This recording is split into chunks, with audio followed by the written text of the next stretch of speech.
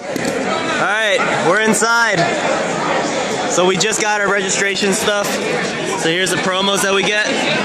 So Night of Extravagance and this fairy tale. So my badge, I'm 257.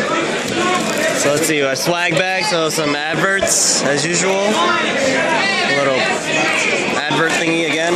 And ta-da! Playmat. First time they've ever given away a playmat during the uh, regional. It looks pretty nice. Anything else in here? Do I get a pen? There's always a pen. Oh yeah, here it is. I thought you were supposed to wear, wear red contacts. Does that make you blind? Who said that? Danny said it? So deck box. It the, Yeah, the so girl who gave you the so it's like uh, what time is it? It's uh 9:30.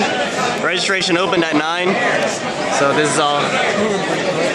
Yeah, it's moving really quickly. So I think the venue is slightly larger than the last place. So hopefully we don't have to deal with a round zero this time.